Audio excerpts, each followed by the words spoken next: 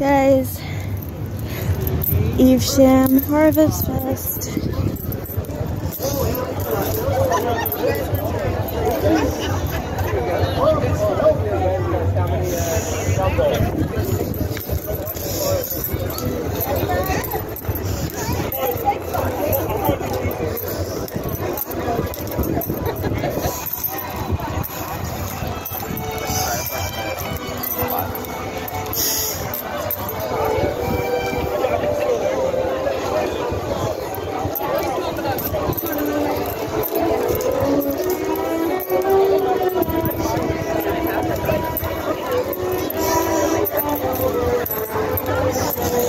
Normally I bring Freddie, but I didn't this time.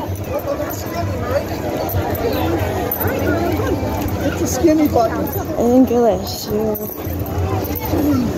I was in the hospital with kidney stones and I missed it. I don't know if they still have the bandana place, so I don't want to bring it if there was nothing. By the way, I can't see out of this, so I wonder how they make it. I don't really know what you're seeing. And it's loud and it's crowded. There's Spider-Man, if you can see him. With some chick, I don't do cartoons, like, I just know the ones from, like, it has to really be more of like an 80s one or earlier. Alright, I'm having a lot of trouble finding this. All cute dogs. Love dogs. Hate people. Love dogs, hate people. Tried to get Brad to go with me, but he didn't.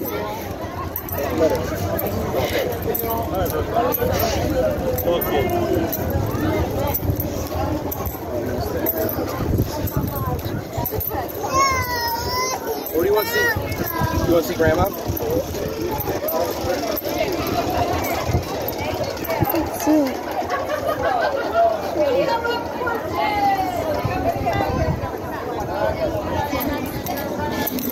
I can't find this place. Where you going? Stan is trying to park there.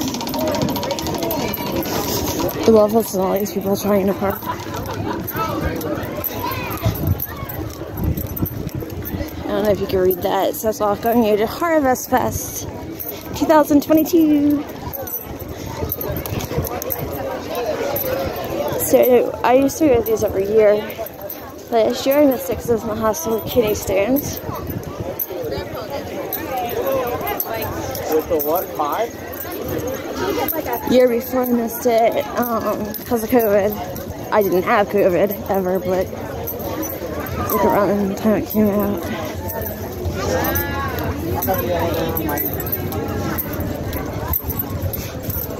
I'm really having trouble finding this place. I don't think it's here anymore. And then as there it is, right there, right in front of me.